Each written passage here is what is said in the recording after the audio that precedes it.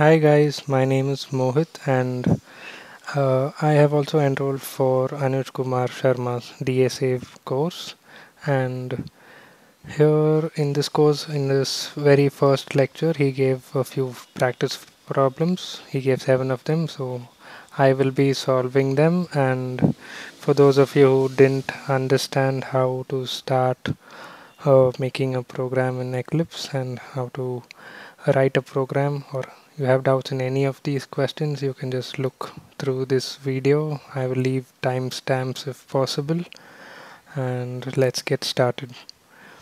So the very first problem is to take two numbers as input and display their product. So let's go to the Eclipse workspace make a new Java project. I will name this Anuj Kumar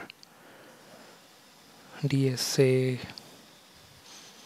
leave this as it is. Next. Okay. Finish. Okay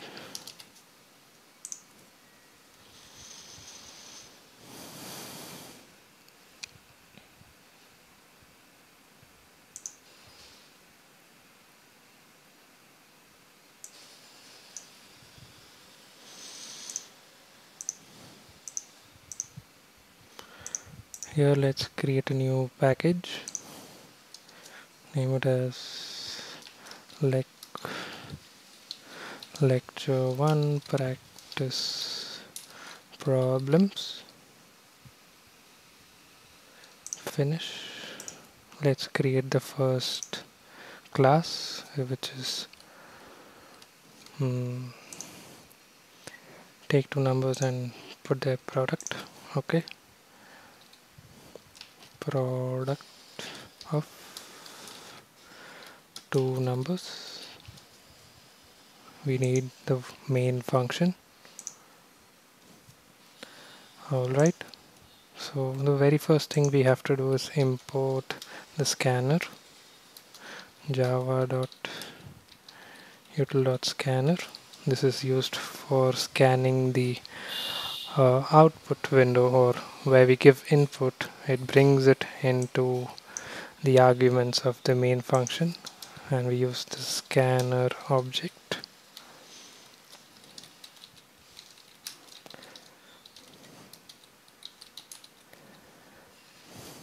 Use the scanner object to bring each of those inputs inside the program as we need them.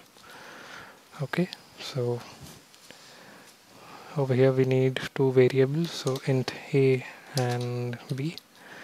Next let's get those two inputs. A is equal to sa dot next int. We'll input integers here.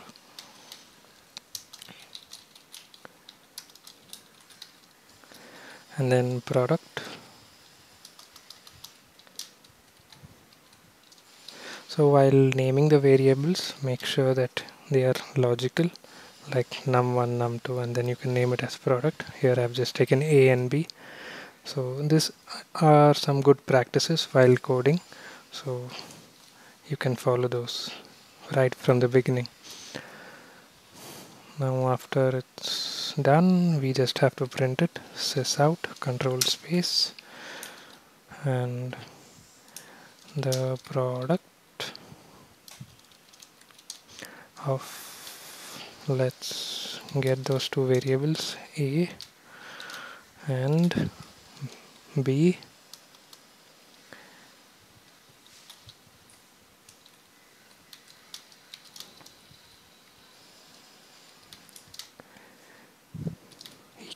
Equals product. All right so let's let's test this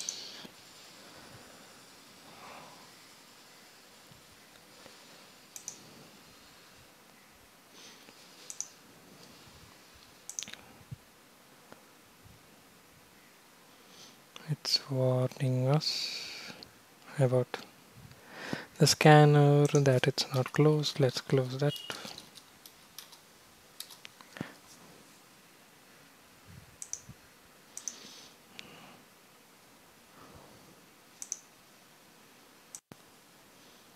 So the console was hidden here so you can go into show view and console.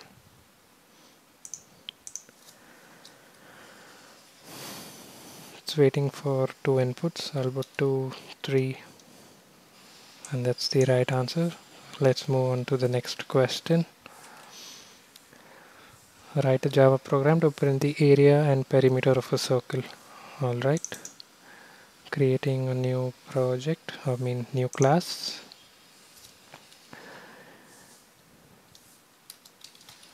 Area and perimeter circle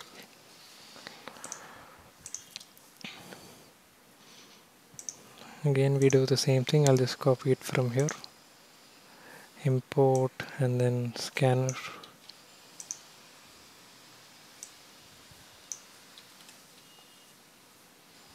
oops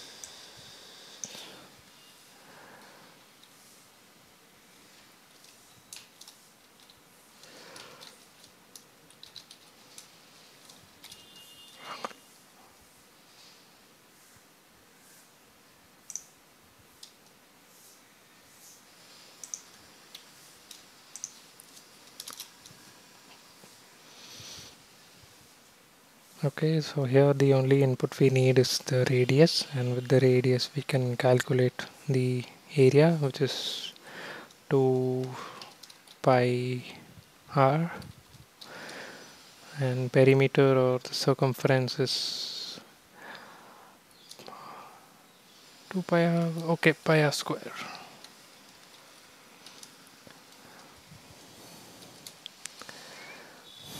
so this is the circumference and this would be the area. Okay let's get the input.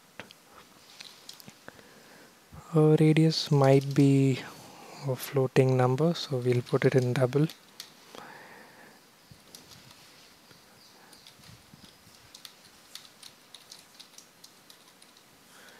So when it comes to next double you can also input integers. It will take it and won't throw any error but in the case that you put next int over here and then input a double or a floating number then it will throw an error. Radius okay. Let's keep it as r to make it simple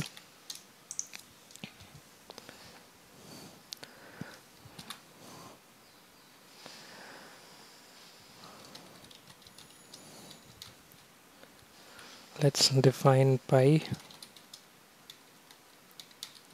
this 22 by 7 here if you leave it as 22 by 7 it will calculate the integer form of the division.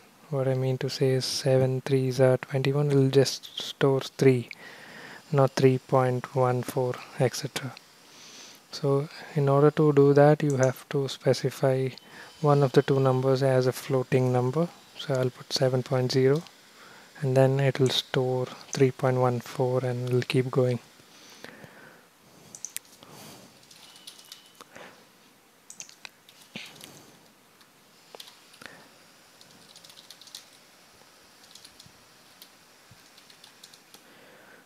This mentioned as perimeter. This is area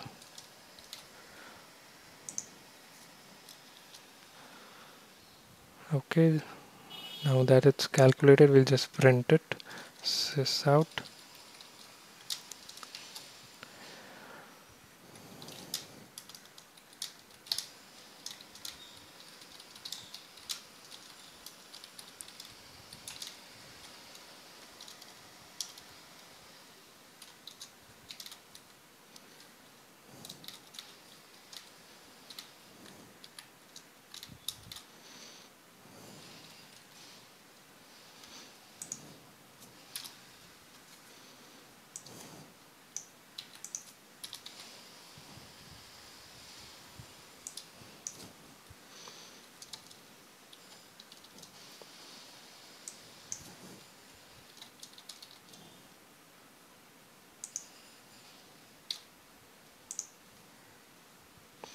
let's run this. Save it. So it's wait, waiting for our radius. So you could also give us this out here to make it more clear.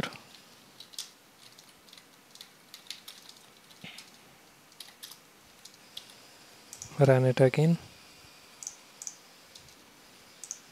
Okay let's give 5 so area of radius area of circle with radius 5 is 78 and this is 31 you can check with your calculator or anything.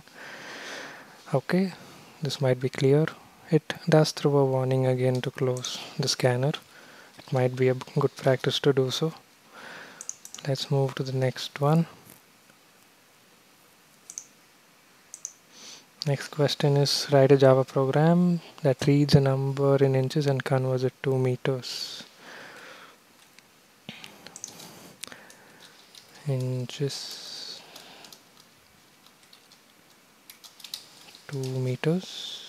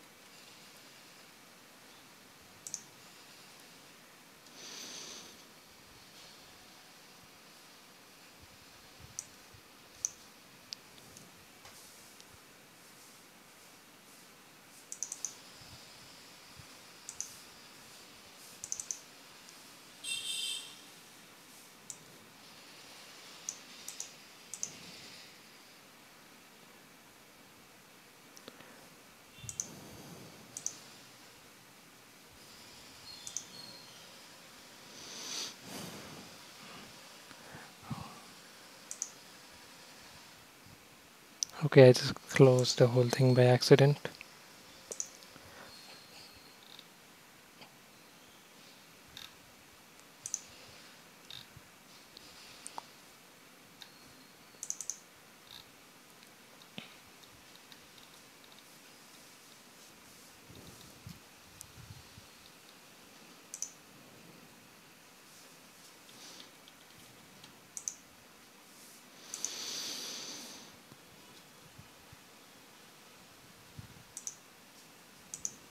Okay, coming back to this one.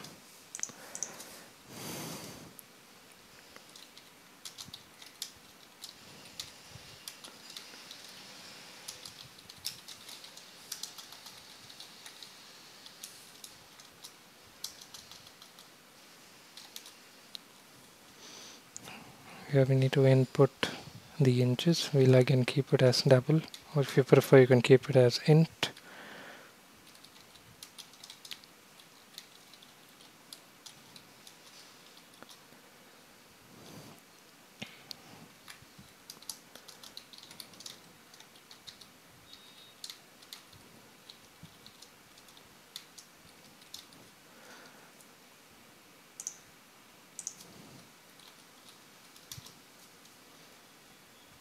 So 1 inch is equal to 0 0.254 meters. We'll just multiply it by 0 0.254 and we'll have our answer. So what's left to do is just print it out.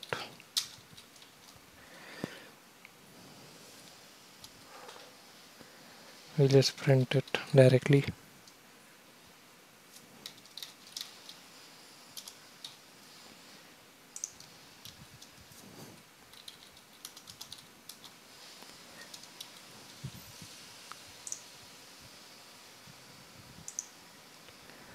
Input inches 100 inches equals 25.4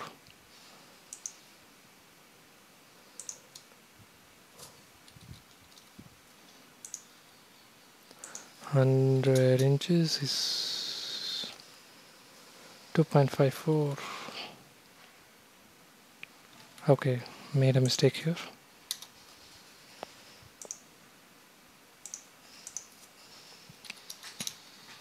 2.54 okay.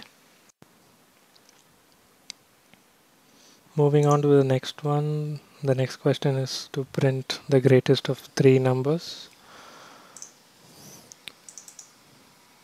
Let's quickly make a new class for that.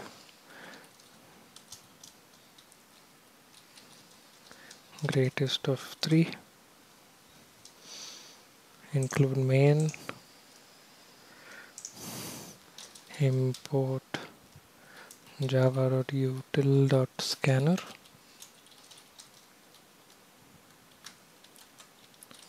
scanner s equals new scanner. You could name it as anything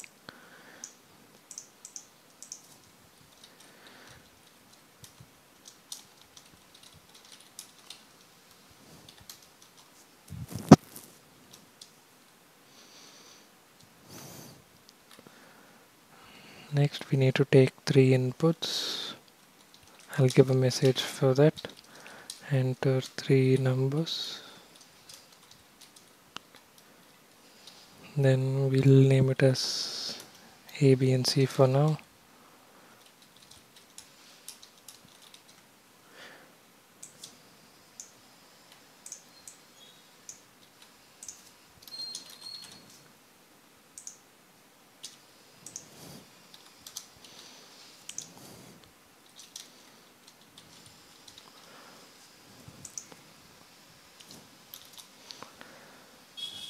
So the logic would be if A is greater than B and if A is greater than C then sys out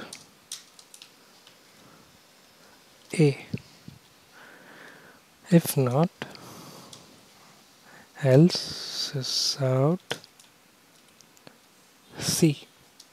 Now for those of you who didn't understand so this is simple. If a is greater than b and it's greater than c so a is the greatest one.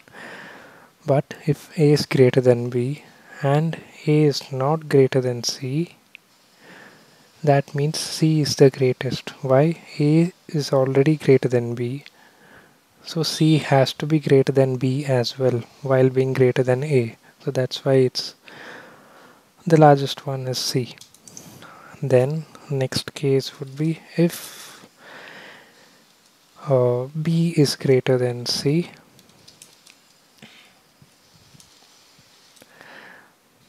And if b is greater than a sys out b. Else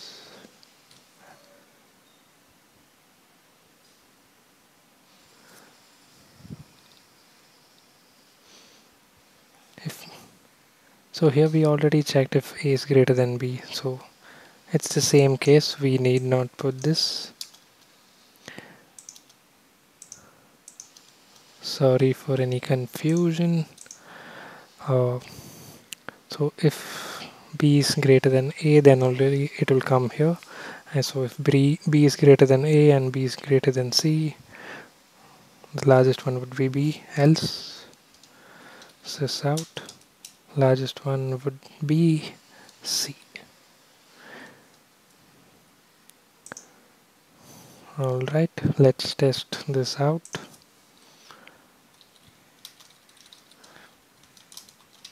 Might have created a bracket problem. Yes. Okay.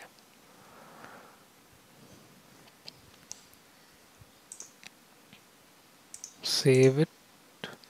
Enter three numbers. 1 2 okay 23 35 35 let's test it again. Give the first number as the greatest one. Again it's working. Second number as greatest one. It's working. No issues with that. Moving on to the next one write a Java program that makes that takes a year from the user and prints whether that year is a leap year or not or not okay? Leap year problem. So first we have to understand the logic behind when a year is called a leap year. We'll name it as check leap year include this. Import it again.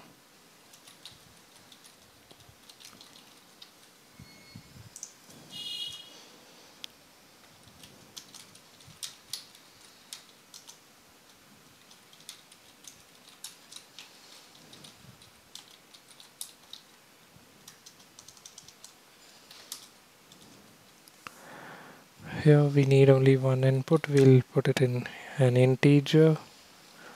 Name it as year. sc.nextInt okay so the logic for an year to be a leap year or not is as follows. So if the year is completely divisible by 100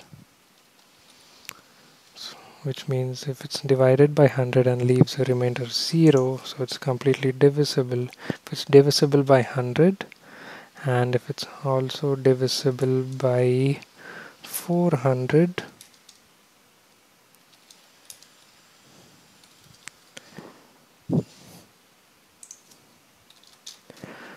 then we say that it is a leap year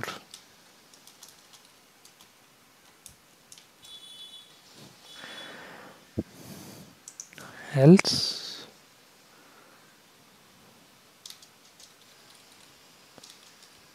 we say that it's not a leap year.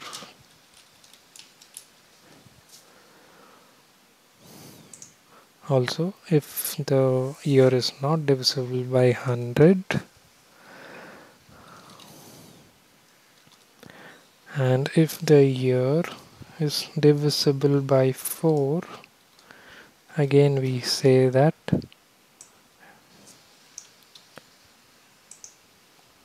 it's a leap year. Else we say it's not a leap year. Might have again created a bracket problem.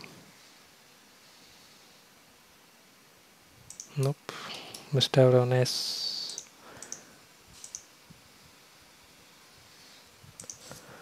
This is why we should always keep brackets missed an if here missed many things. Okay. No problem. As long as we can find the problem.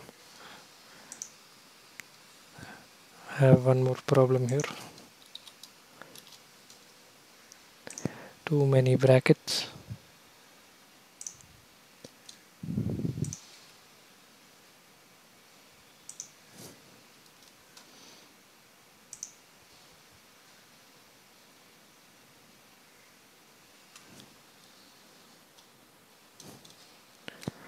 let me fix that.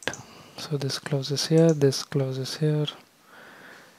This else should come over here. So give another closing bracket here. Solved. We don't need that. Main class. Okay. Save it. Okay we input the year. Let's say 1900 which should not be a leap year that's right because it's divisible by 100 but not by 400 so you can check the logic on the internet. It is as follows. Let's check it again. 2000 it's a leap year. 2004 leap year. 2022 nope. Okay let's let's move on to the next one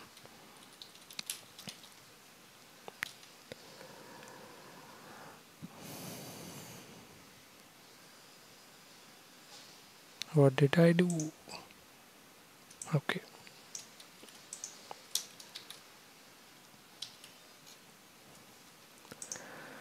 This is why we should also maintain proper indentation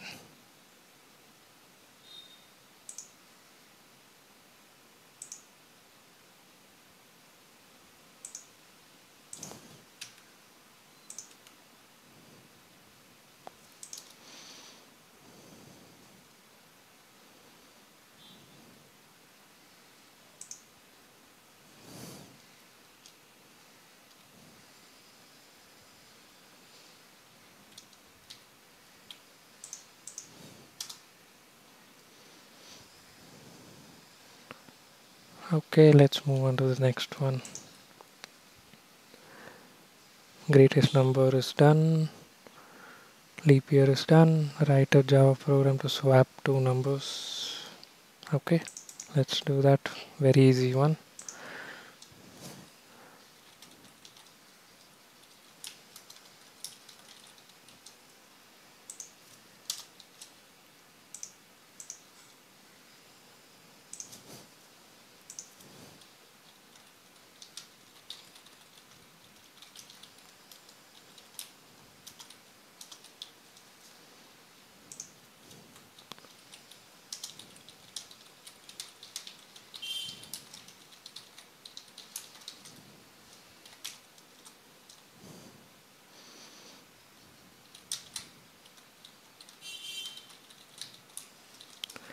so we input the two numbers.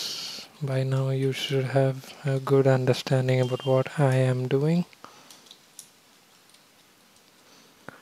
And then we create a temp variable store num1 in it. Then in num1 we put the second variable. And then in num2 we take num1's value but we have already changed num1's value so we put temp which which we had already stored. Okay understood. So we put here numbers after swapping. You could just directly print them. I'm just trying to make it more understandable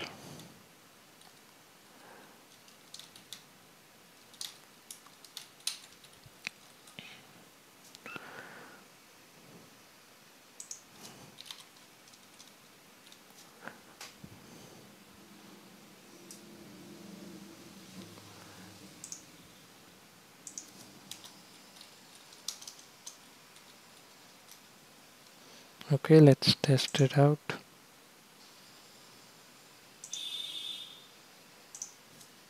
One and two became two and one. Done with that? Okay next one. Write a java program to grade students based on their marks.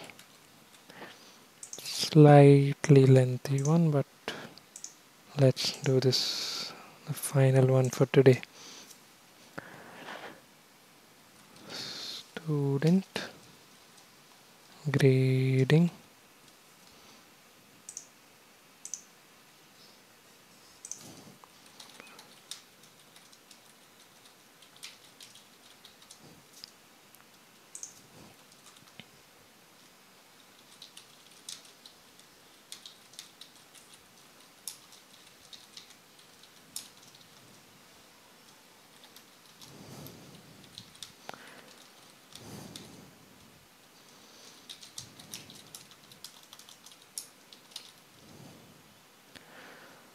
Okay, so Anuj Bhai had, uh, had taught us about switch case, but if you use switch case, let me show you.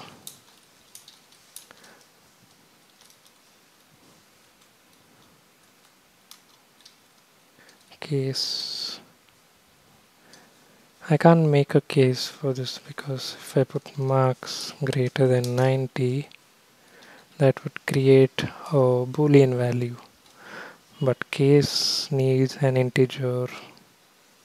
See? I can't make it like this. I can put it as 90 but for this question we will need to use if else ladder. So if marks are greater than 90 what happened we don't need the switch okay.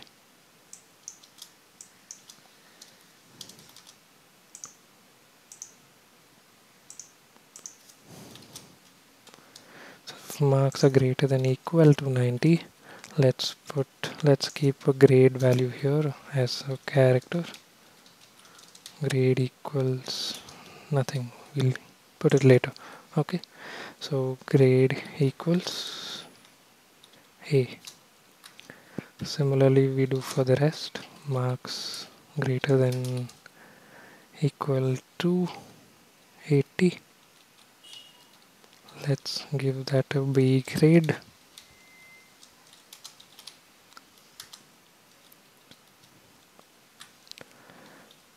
Forgotten if here that will throw an error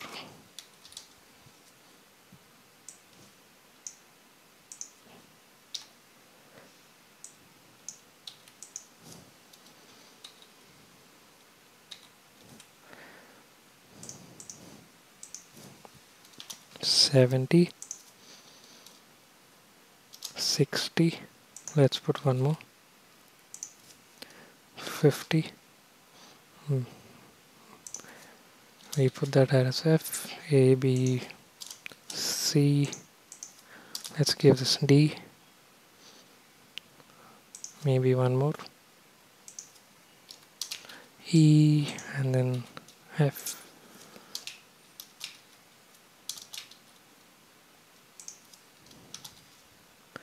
Okay, let's test it out, save it. And put the marks. 95 okay we didn't print it.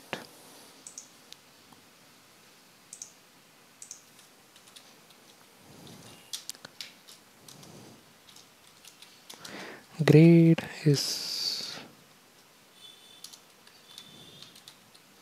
grade. Okay we didn't have a default case that's the thing. May not have been initialized. So in this case what we have to do is either we initialize it with something or what we can do is leave a general else case so that by default the grade would become F if none of the test cases or none of these expressions are met. Okay. Input 95 grade C. Let's try that again. 45 F. 65 grade D okay. So I guess we are done for the day. 1 2 3 4 5 6 and 7 all 7 questions we have solved if you have any doubts leave it in the comments Anuj Bhaiya had also mentioned that he would be sending us these uh, presentations or the PDF but I couldn't find it on Unacademy or anywhere else. Uh, if you guys know where I can find it, please let me know in the comments. And thanks for watching.